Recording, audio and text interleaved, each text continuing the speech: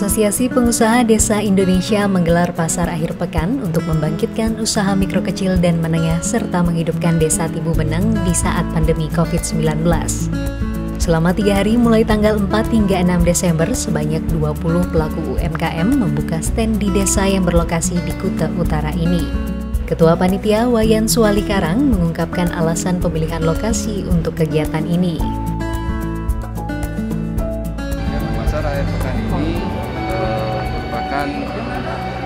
Pengejawantahan dari visi dan misi dari organisasi APD yang baru hari ini dilantik. Jadi eh, di samping untuk memberikan ruang kepada para UMKM, juga memberikan eh, informasi kepada para wisatawan bahwa di Bali dengan peraturan penerapan protokol kesehatan yang ketat, kita masih bisa melaksanakan sebuah kegiatan.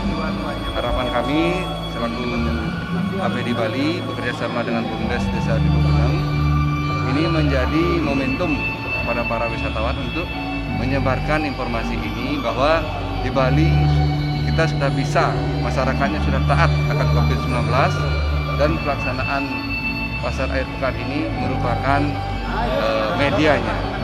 Jadi itu tujuan dari pasar air pekan ini, samping menyediakan ruang kepada para warga setempat untuk memperoleh hasil dari usaha-usaha mandiri mereka.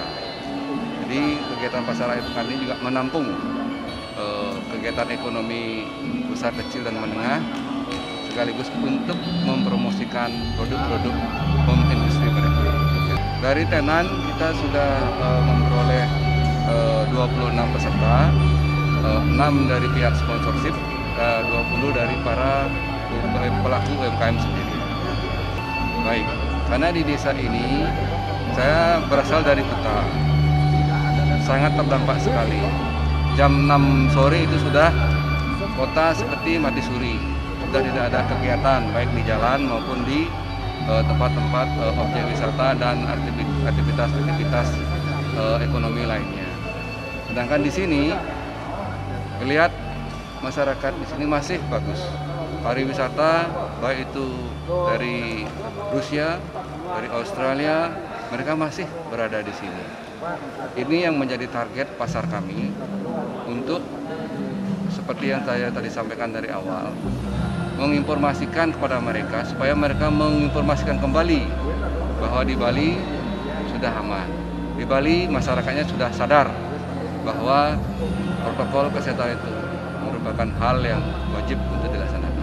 Untuk hari pertama kita ada acara basar dan yang diiringi dengan acara pelantikan pengurus APD DPD DPD Bali. Kemudian di hari kedua kita ada kegiatan basar juga dan akan dimeriahkan oleh penampilan live music Momo. Okay.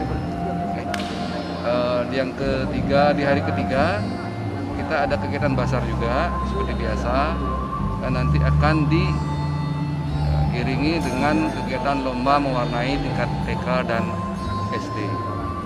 Harapan kami uh, mereka juga ikut berpartisipasi dengan berbelanja di stand-stand UMKM kami di pasar air pekan ini.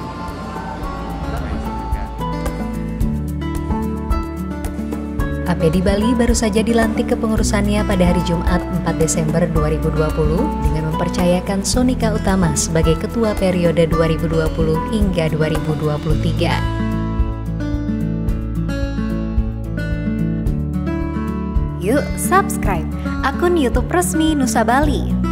Jangan lupa like, tinggalkan komentar, share link, dan aktifkan tanda loncengnya. Dapatkan informasi terkini seputar Pulau Dewata hanya di Nusa Bali TV.